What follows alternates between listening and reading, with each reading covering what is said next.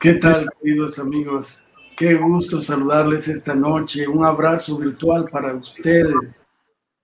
Aquí estamos con la bendición de Dios para aprender más e inspirarnos en el poderoso arte y ciencia de la oración. Jesús enseñó que podemos dirigirnos a Dios como a nuestro Padre Celestial. Dijo que puedes orar en lo privado, en lo más íntimo, que Él te va a recompensar ante los demás. Eso te dice que Dios es generoso, altamente generoso. Jesús también dijo que podemos juntarnos con nuestros amigos y pedir, ponernos de acuerdo para pedir, y entonces le será concedido. Todas estas son promesas que podemos usar con fe y aferrarnos para orar. Dios está empeñado en recompensar nuestra fe, pues Él es galardonador de los que le buscan, los que le buscan con corazones sinceros y fervorosos. Desde luego, todos podemos pasar a través de crisis y situaciones difíciles en la vida, e inclusive la muerte. Pero aún así, nuestra confianza se purifica, nuestra fe acrecienta, porque Dios es fiel, no nos dejará ni nos desamparará. Hoy hablaremos con una profesional que a través de la oración supo darle sentido trascendente a las experiencias más duras de la vida, como la muerte de una mamá, como accidentes en la familia, Nadie está preparado para esto. Dios, sin embargo, es fiel y no te dejará ni te desamparará. Quédate con nosotros para que aprendamos juntos del Dios de lo imposible, tu Dios y mi Dios. Bienvenidos a un momento de paz.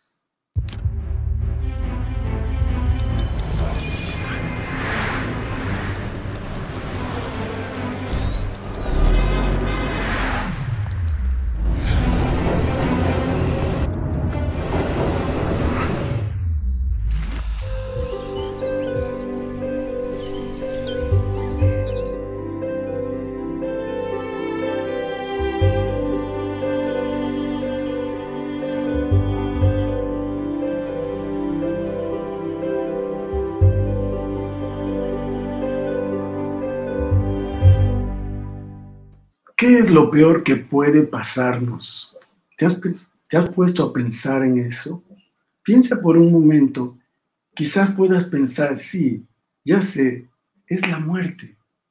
Sí, pero la muerte sin Dios y sin esperanza. Eso es lo peor que puede pasarnos. Pues el Dios de lo imposible es perfectamente capaz de cumplir su palabra que dice, yo soy la resurrección y la vida. El que cree en mí, aunque esté muerto, vivirá. La promesa sigue en pie para nosotros. Hoy hablaremos con nuestra invitada sobre esto, con Mari Tolentino. Gracias, Mari, por aceptar la invitación. Mari, cuéntanos algo acerca de tu concepto de la oración. ¿Cómo es tu concepto de la oración? Pero antes de eso, cuéntanos algo de ti para que nos familiaricemos, todos nos familiaricemos contigo. Hola, buenas noches. Este, mi nombre, como ya lo dijo el pastor, es Mari Tolentino Hernández.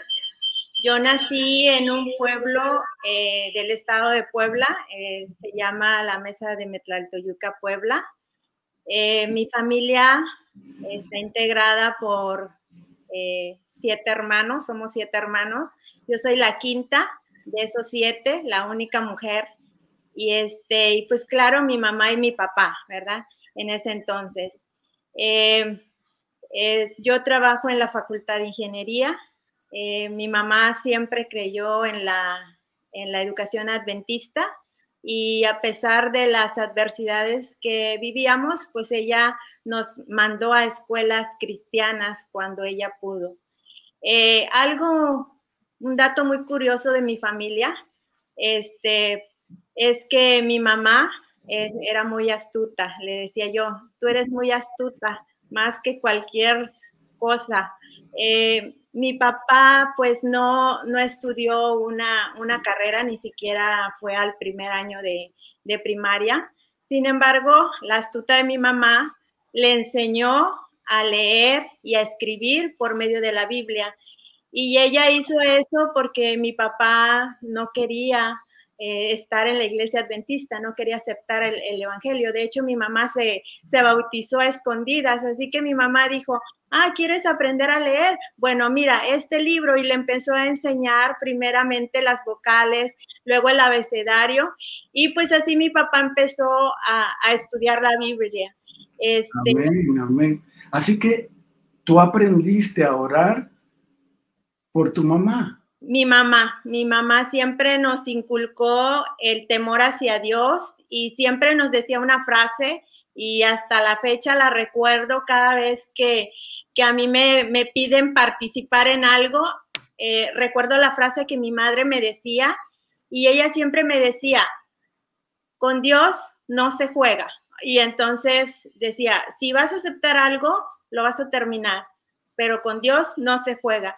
Y desde entonces yo aprendí a respetar a Dios, a amar a Dios y a dirigirme en Él en cualquier momento, en cualquier situación que yo tuviera de dificultad, porque ella siempre nos inculcó eso a mis hermanos y, a mí, ¿no? Entonces, este, pues eso es, eh, eso es mi familia y desde pequeña, aunque no soy nacida en el Evangelio Adventista, fui católica, pero pues mi mamá eh, estudiando, porque era de las personas que no se queda con las dudas, empezó a estudiar y pues después nos enseñó, eh, ahora sí, la doctrina adventista. Amén. Mari, precisamente tu mamá pasó por un tremendo eh, situación de salud que finalmente lo llevó al descanso.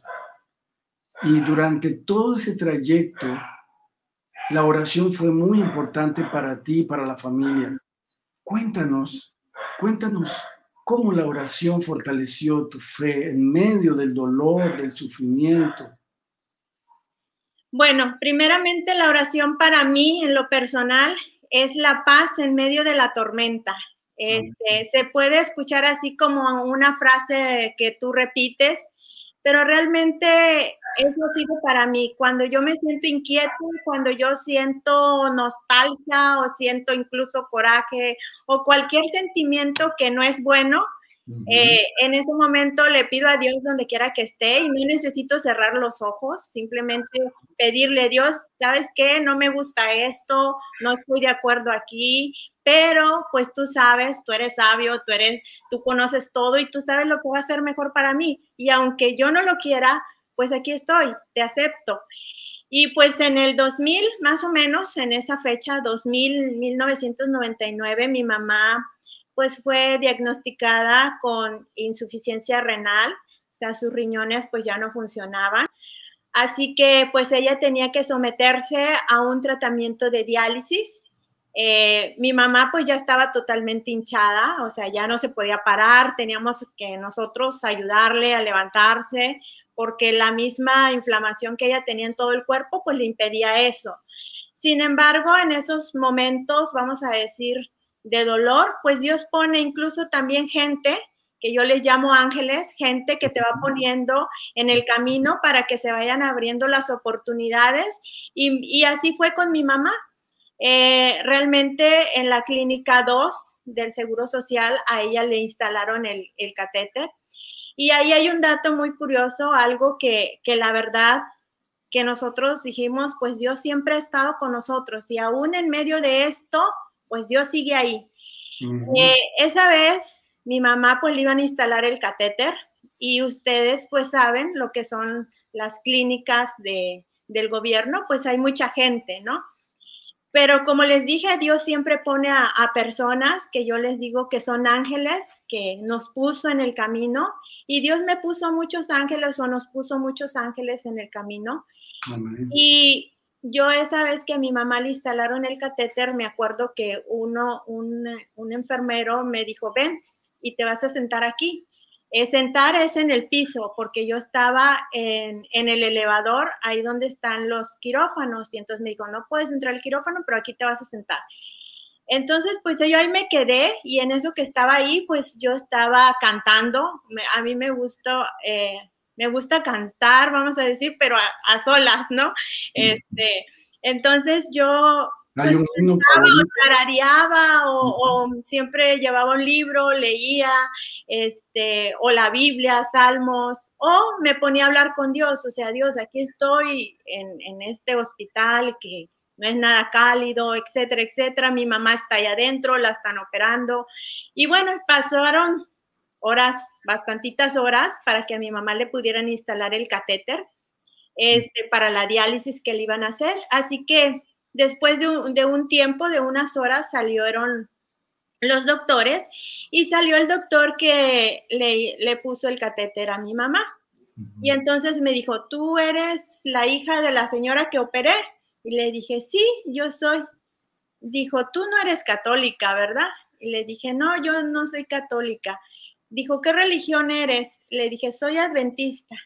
Y me dijo algo que me, que en ese momento me sorprendió y pues como yo estaba aturdida también, así por, ay, el saber que mi mamá estuviera bien, y me dijo, bueno, ay, es que a ustedes los adventistas les pasa cada cosa, dijo, que sobrenaturales, que a veces yo ya uno ya no sabe ni qué creer.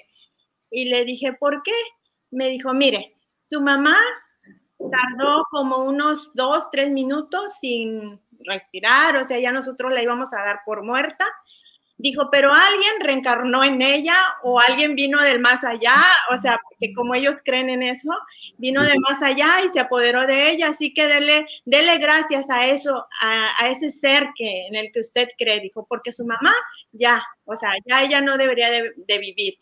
Y yo, ah, ok, gracias. O sea, yo le dije, gracias. Dijo, sí, y siga orando, siga siendo fiel a ese Dios, dice que hace cada cosa, dijo, con nosotros con la medicina. Entonces ahí yo dije, gracias Dios, porque aún en medio de esta tormenta, tú nos das esa paz. Y aún ahí, en medio de la ciencia, tú demuestras que tú tienes más poder que cualquier cosa. Eh, simplemente es estar ahí. Después de eso, pues mi mamá duró bastantitos años, más de cinco años con la diálisis y como le dije, Dios nos puso personas, así que a ella le hacían la diálisis, le dieron una máquina, etcétera. Este, y de hecho la muerte primaria de ella pues no fue por la diálisis. Eh, ella también tenía desde pequeña una arteria tapada del corazón, así que ella nunca fue candidata para hacer un trasplante de riñón. Y pues mi mamá sí estuvo mucho tiempo y en ese tiempo, pastor, que ella estuvo en cama, mi mamá siempre nos hablaba de la muerte. O sea, es al inicio nosotros como hijos les decíamos, ay, mi no hables de eso. Y me dijo, escúchenme bien. O sea, cuando ella decía eso es que nosotros teníamos que poner atención y pues teníamos que, ahora sí, hacer caso a lo que ella nos decía, ¿no? Porque era una persona muy calmada, pero de carácter fuerte, fuerte en el sentido de que ella no te iba a gritar nada, pero simplemente decía no y era no, o sea, decía sí y era sí, ¿verdad? Este, y nadie cambiaba su opinión. Así que en ese transcurso de cuando ella tuvo su enfermedad, entre más de cinco años que la estuvieron dializando, ella nos dijo, mire, ustedes deben siempre tener presente que en este mundo la muerte existe yo estoy enferma, dijo, y yo me puedo morir primero, o puede ser cualquiera de, ustedes, o su papá, o su, porque la muerte existe, y así que ustedes tienen que estar preparados para cualquier momento. Mm. Dijo, pero tampoco se tienen que asustar. Yo solamente les voy a pedir algo, que ustedes estén conscientes que estamos de paso en este mundo y que no, no nos aferremos a estas cosas. Y ella nos, ella nos decía, yo quiero algo y yo se lo estoy pidiendo a Dios. Y las cosas que ella pedía, pastor, cosas que tú puedes decir son cosas insignificantes y Dios, ay, ¿qué, qué se va a estar ocupando de eso? Pues Dios se ocupó de esas cosas que ella quería. Esas cosas era que ella no quería morir en viernes, ni mucho menos en sábado, para no estropear el inicio del sábado. O sea, ella le pedía eso a Dios dijo, si me vas a llamar al descanso, llámame en un jueves, un miércoles, un martes, pero no un viernes, porque voy a estropear eh, tu día santo. Así que, y luego le pedía, ella decía, yo quiero morir en la, en la madrugada, en la mañana, para que así en la tarde ya me sepulten, o sea, ya no, no se estén desvelando ni nada. Y otra cosa que ella también nos decía es no me traigan flores, no gasten, no gasten cuando esté ya ahí yo este, en la caja y hay todo eso, no, no gasten en flores, no se queden a velarme porque yo ya no los voy a ver, yo ya no voy a oler esas flores, así que denmelo ahora que estoy viva. Entonces, todas esas cosas, pastor, nosotros las hicimos como hijos, eh, nosotros no nos desvelamos, o sea, porque ella nos pidió eso, no compramos flores para llevarlas al panteón. Hasta la fecha nos dijo no visiten la, la, tumba y pues nosotros de vez en cuando nos damos la vuelta, así como hijos un poquito desobedientes, ¿verdad? Pero no llevamos flores porque sabemos que ella ya no, ya no las ve, ya no las disfruta. Ella amaba las flores, amaba las plantas y todo eso. Entonces, mi mamá siempre nos inculcó eso. Y claro, pues mi papá, pues también, digámoslo así, porque decía, lo que diga su mamá y, mi papá pues, no se metía en problemas. Así que lo que decía mi mamá, eso es lo que se hacía, ¿no? Este, así que ellos siempre nos inculcaron que en medio del dolor nosotros debemos de depender siempre de Dios. Amén, amén, Mari. Gracias por compartir, perdón. Después de eso, este, ¿Qué pasó mi mamá en, ese lapso que nos, nos, este, ahora sí, nos educó para el día de su muerte. Mi mamá falleció un 28 de, de septiembre. Ella también pedía que no estuviera mucho tiempo en el hospital cuando fuera su, su muerte y así pasó. Ella entró un miércoles a como a las 2 de la tarde, 2, 3 de la tarde, y murió el jueves en la madrugada. Así que Dios le, incluso en esos detalles de su muerte, Dios le, le hizo caso y le cumplió porque ella murió en la madrugada. No la enterramos ese mismo día, la enterramos hasta el otro día, pero Dios se manifestó en medio de ese dolor, en medio de de, de, perder a ese ser que te dio la vida, pues Dios nos dio el consuelo y nos dio esa paz. Amén. Hermanos, y fíjese que algo muy interesante, pastor, con la parte de mi mamá, hubo cosas, a veces decimos, ay, la muerte, una tragedia, pero algunos de mis hermanos que se habían alejado un poquito de la, de la iglesia, volvieron. ¿Por qué? Porque quieren volver a ver a mi mamá el día cuando... Amén, amén, exactamente. Esa es la esperanza de todos los creyentes volvernos a reencontrar en aquel precioso día. Por eso debemos mantenernos unidos en oración. Les invitamos a que envíen sus pedidos de oración a los medios que están pasando en pantalla y también acuérdense de darle gracias a Dios por todo lo bueno que ha sido con nosotros.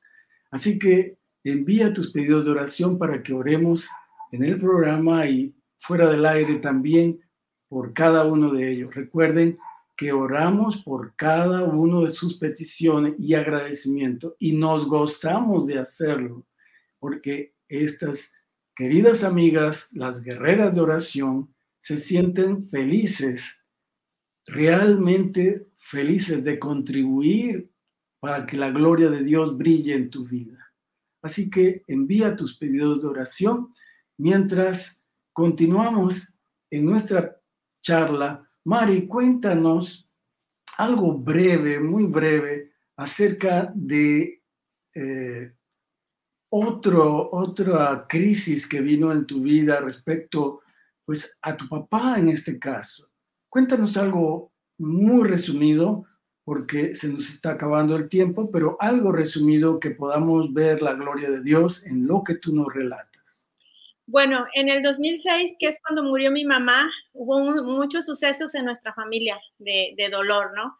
Y en abril, antes de que muriera mi mamá, pues mi papá tuvo un accidente. Un sábado iba saliendo de la iglesia y justo en la esquina antes de llegar a la casa, como tres, cuatro casas antes de, de que llegara a la casa, pues un perro de esos de, de pelea salió y pues le destrozó prácticamente todo su brazo, le, le rompió la arteria.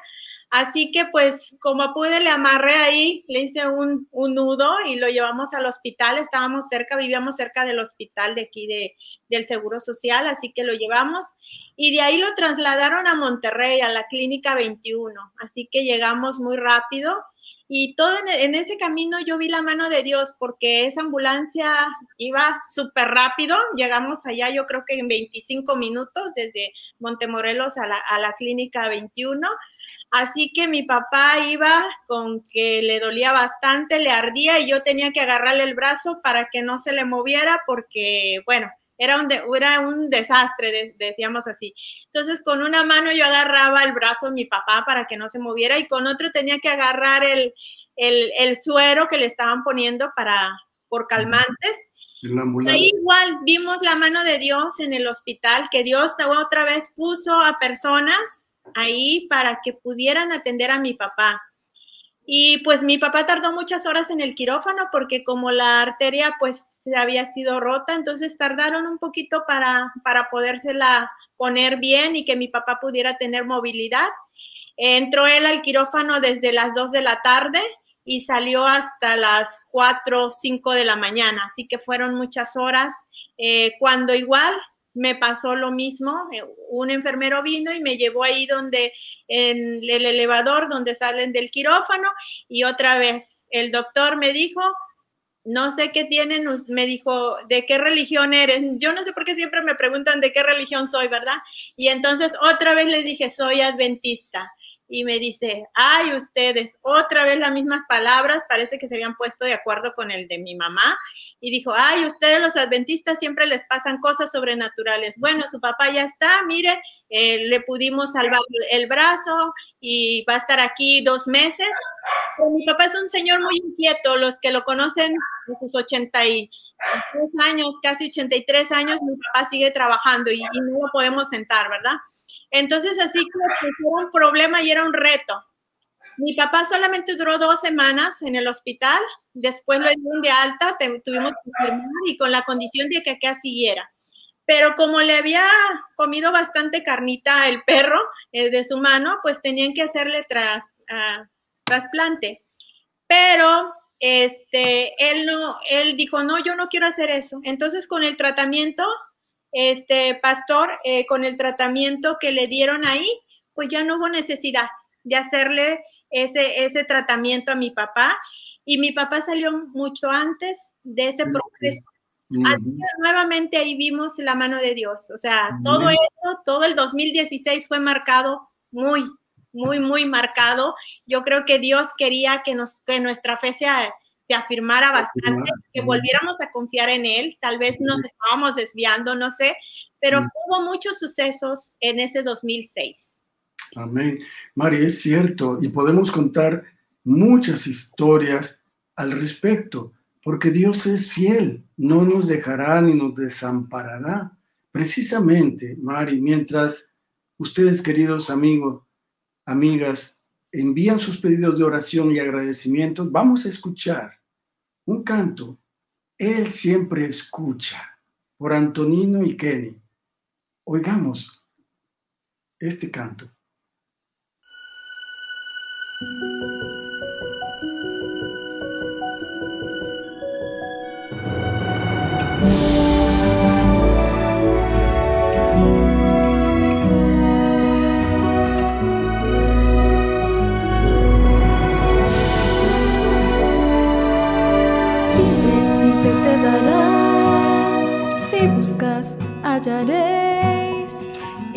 Llamas se te abrirá, si lo puedes creer. Todo lo que pidas creyendo, todo eso recibiréis. No importa cómo te encuentres ni el lugar donde estés.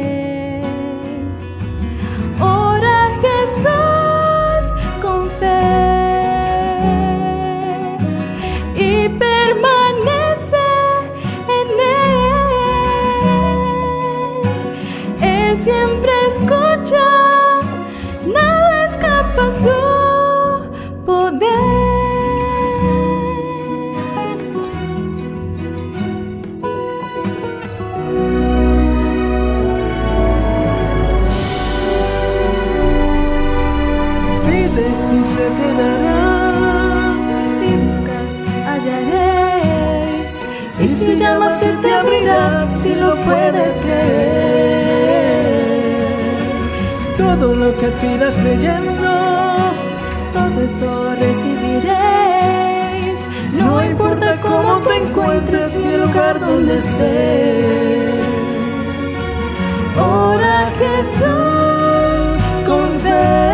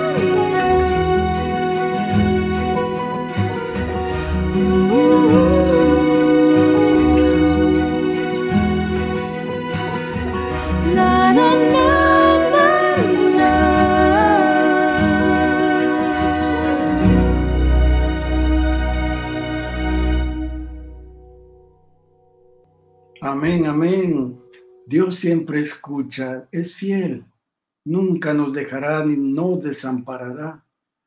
Hoy estamos, digámoslo así, de manteles largos, porque hemos cumplido tres años ininterrumpidos de transmisión de este programa. 156 programas con personas diferentes, entrevistándoles acerca del poder de Dios y el poder de la oración.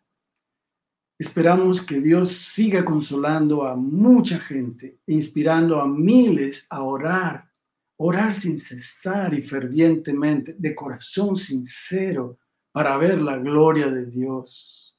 Porque Él ha dicho que todo aquel que invocare el nombre del Señor será salvo.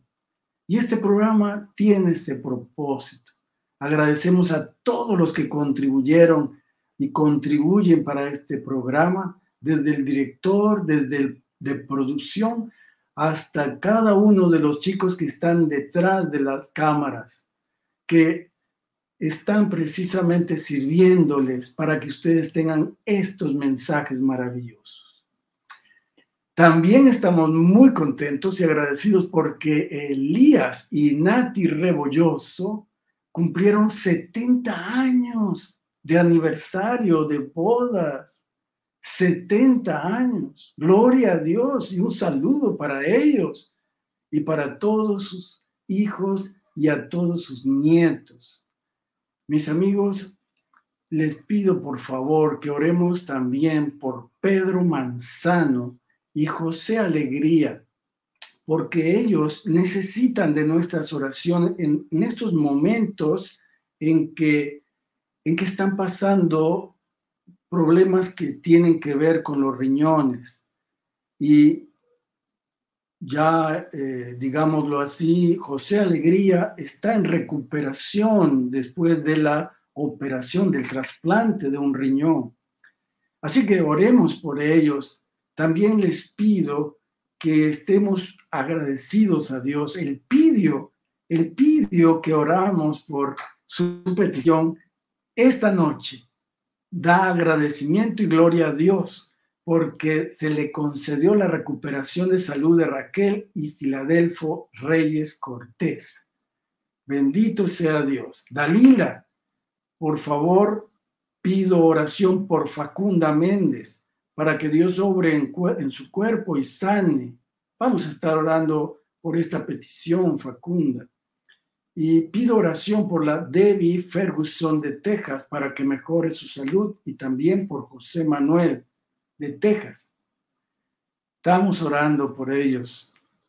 Por favor, no se olviden de orar por ellos. Claro que sí, vamos a estar orando constantemente. Lo estamos haciendo porque no es este miércoles que has pedido, si no has pedido antes también por esto. Rosa María, pido sus oraciones por la salud espiritual de mi mamá y también por la mía. Incluyan en sus oraciones por cuidado y protección de mi hijo en su trabajo. Gloria a Dios, porque dice que Dios lo sigue bendiciendo grandemente. Amén, amén. Josefina, por favor, ayúdenos a orar por Isaac Cortés. Está internado por COVID. Vamos a estar orando por Isaac, no lo vamos a dejar, no lo vamos a desamparar. En oración estaremos. Gaby, oremos por las familias que sufren separaciones y por todos los enfermos, por los que han perdido a un ser querido, por los que tienen que cubrir deudas, que no les falte el trabajo. Y el Señor les bendiga. Gracias por esta oración, Gaby. Vamos a tomarlo en cuenta. Minerva Jiménez, buenas noches. Doy infinitas gracias a Dios por su misericordia e infinito amor. Mi petición especial es que oren por mi hija Minerva y sus hijitos. Ya lo estamos haciendo, definitivamente. Estamos haciendo porque nos has pedido antes. Carmine Gutiérrez, le ruego sus oraciones por mi hijo Jorge. El Señor les bendiga y los guarde hoy y siempre. Gracias, gracias Carmine. Que Dios también te abrace. Y recordemos que debemos rogar porque el Espíritu Santo toque nuestros corazones. Amén. No hay que olvidar al Espíritu Santo. Todo se debe al Espíritu Santo y es el que nos guía en oración. Lipid, pido por Ernesto García Ruiz, está muy delicado por COVID. No lo vamos a dejar, vamos a orar constantemente por Ernesto García. Desde Veracruz, soy Jacqueline Gutiérrez, exalumna, un agradecimiento por dos peticiones especiales y una petición muy grande por todos los que sufren y por mi familia. Claro que sí, Jacqueline, vamos a estar orando por esto. Sonia, pido oración por mi familia, tienen COVID. Vamos a estar orando por tu familia. Piden que oremos por la familia Reyes González de Minatitlán. Vamos a estar orando por ellos también, créanme que lo tomamos muy en cuenta. Elizabeth, pido oración por mi sobrino Luis Gerardo, que está en el hospital en terapia intensiva, se encuentra intubado, y por su mamá, que es su único hijo, es mi hermana Esther. Elizabeth, cree en Dios, aférrate a sus promesas y nosotros estaremos orando también. Somos los esposos Hernández Aniles, jubilados Pedimos que oren por favor por mi hija Mayra Hernández Aniles y su familia, porque tienen COVID. Vamos a estar orando uh, por ustedes y también por, por tu hija y por la familia. Rosy, quiero pedir por el joven valiente Piña, paciente de COVID, para que Dios obre y si es su voluntad, sane pronto. También pongo a mis hijos en sus manos y doy gracias por tantas bendiciones. Amén. Recuerden la promesa y el mandato que Dios dice. Estad siempre gozosos, orad sin cesar y dad gracias a Dios en todo, inclusive en estos momentos. Ana, pedimos oración por Camín Hernández, que está entubado también para que Dios haga su voluntad en él. Vamos a estar orando, Ana. No lo vamos a dejar. Mari, por favor, pido oración por la niña Gemima Cruz. Está muy grave en el Hospital Gómez Maza, en Tuxtla Gutiérrez. Sus padres esperan un milagro. Nos unimos por ese milagro para que Dios obre al Dios de lo imposible, nada, no hay obstáculo. Pedimos en oración por la salud de la familia Ramírez y Elías Pérez, que tienen cáncer. Soy Oscar Ramírez, exalumno UM. Oscar, vamos a estar orando por esta petición. María Inés, bendice, bendición por mi salud y la de mi nuera Pamela y por mi hija Brenda. Mari lo era, orando por enfermo y por consolación. Silvia Zapata, por favor, por mi madre, Lupita Silva. Linda González de Brutus. ¿Cómo está Linda? Qué gustos de, de poder escuchar su nombre. Pedimos que sus oraciones por Nueva Orleans a los damnificados, ¿cierto? Todos los que están incomunicados y sufren de hambre y faltan los servicios para vivir. Oremos por el servicio de equipo del puente aéreo y todas las donaciones de insumos y alimentos para este grupo vulnerable. Vamos a estar orando, Linda, por esta petición fervientemente. Patricia Noemí Gutiérrez, oremos por todos los que han perdido un ser querido. Ciertamente, oren por Damaris de Juárez, que será operada mañana. Vamos a orar por ella para que la operación pueda ser dirigida por Dios. Egla Rubí, oremos por nuestros enfermos de COVID. Juan Manuel pide oración por las personas de la iglesia de Jico. Juan Manuel, conozco esa iglesia. Julio Castañón, su esposa Flor Sánchez y su hijita Génesis e Isidro, que están enfermos de COVID. También por Benito Cruz. Reina Esther Mora Cortés, por la salud de sus padres, Elpidio Mora y Eva Cortés. Oración por Patti Gutiérrez. Hemos estado tomando en cuenta a Patti desde hace tiempo, pero seguiremos orando por ella. Mari Contreras, le ruego que oren por mi hijo Hugo, Gaby, por mis hijos Hugo, Gaby, Abraham y Samuel, Pardo Contreras, mis hijos varones están fuera de la iglesia. Vamos a orar para que Dios cumpla su promesa de que tus hijos puedan ser, puedan estar en el camino de Dios. Esmeralda Solano pide oración por Jerry Saavedra y Jeffrey por su salud espiritual. Lourdes Suilma o Zulma López Martínez pide oración por mi salud física y espiritual. Sandra Cubides, oración por la humanidad. Arturo Ramón pide oración a Dios por su dirección y aprobación, que me ayude a encontrar un trabajo donde pueda guardar el sábado y sea justo. Pido por los enfermos.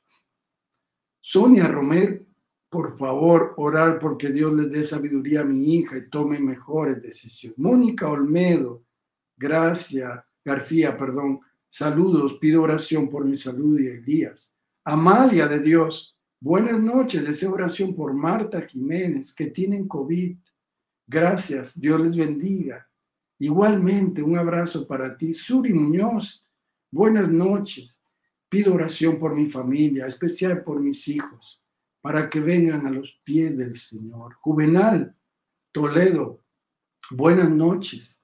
Excelente programa. Les pido que oren por mi esposa que está en recuperación de una cirugía de columna. También no camina. Dios nos escuche. Amén. Nos unimos a ti, Juvenal, y gracias por ver este programa y animarnos los unos a los otros. Antonia Vega, Dios les bendiga. Pido oración por mi hijo Jorge González para que tome buenas decisiones. Amén. Dina Gómez, gracias a Dios por sus cuidados y por el sustento diario. Amén. Silvia Zapata, por mi hija, para que el Santo Espíritu toque su vida y la instruya a buscar a Dios para sanidad y servicio consagrado. Amén. Soy Beni. Favor de orar por mi salud. Vamos a orar por ti, Beni. Toma como cierto esto. Juan Benito pido amablemente oración por mi vida espiritual y mi servicio a Dios. Amén. Vamos a estar orando por ti también, Juan Benito. Queridos, hay muchos pedidos de oración, muchos agradecimientos y vamos a orar juntos los unos por los otros para que nada pueda impedir que la gloria de Dios brille, brille en nuestro corazón, brille en nuestra familia, brille, brille en nuestro vecindario, brille en el mundo entero. Voy a pedirle a Mari que tenga la bondad de orar y entonces les pido por favor que inclinen su rostro allá en casita o donde estén. Padre nuestro que estés en los cielos, santificado sea tu nombre. Gracias, Señor, porque nos das la vida. Gracias porque nos das las tormentas en este mundo, porque solamente así, Señor, podemos volver a ti. Y en esta noche tú has escuchado todas esas peticiones que se leyeron. Eh, tú las puedes responder de acuerdo a tu santa y divina voluntad. Y ayúdanos a que cada momento de nuestra vida podamos voltearte a ver a ti, Señor, y nos podamos aferrar. Y así como dice el Salmo 34, 7, el que el ángel de Jehová acampa alrededor de los que le temen y los, y los defiende. Sabemos que son promesas que tú has dejado en la Biblia y que, que, están ahí para que nosotros las reclamemos cada instante de, nuestra, de nuestro vivir. Así que bendice a cada una de las personas que han hecho alguna petición, que han visto este programa, que tú les puedas suplir cualquier necesidad que ellas tengan. Por pedírtelo en el nombre de tu Hijo amado, Cristo Jesús. Amén.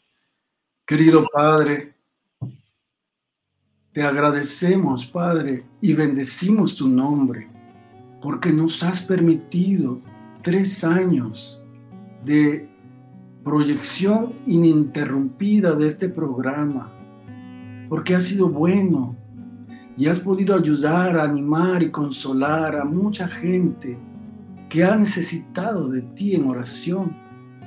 Gracias por darnos este ministerio que es un privilegio. Gracias por las guerreras de oración que lo hacen con tanto gusto, por orando por nosotros, Señor. Gracias porque unos a otros oramos para que tú puedas manifestar tu gloria, Señor, para que vengas pronto y todo este dolor y sufrimiento se termine y entonces podamos verte cara a cara. Ya no habrá necesidad de oración porque te veremos y podremos platicar contigo en presencia, en lo vivo aquí contigo. Queremos, Señor, pedirte que esto sea nuestra más grande esperanza y que nuestra fe crezca, nuestra fe crezca en ti.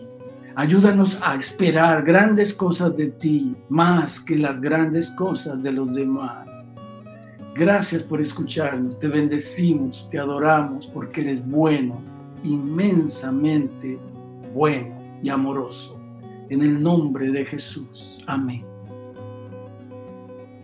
Gracias Mari por estar con nosotros compartiendo tus experiencias de fe en oración. Gracias a usted.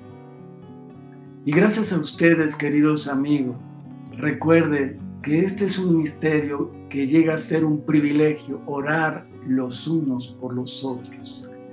Yo me despido con la bendición de Dios para ti. Dios te bendiga y te guarde. Dios haga resplandecer su rostro sobre ti y tenga de ti misericordia. Dios alce a ti su rostro y ponga en ti paz. Amén y amén.